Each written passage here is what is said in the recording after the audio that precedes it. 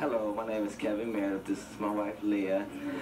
Currently, I'm a vice president of a travel agency, and that's about it.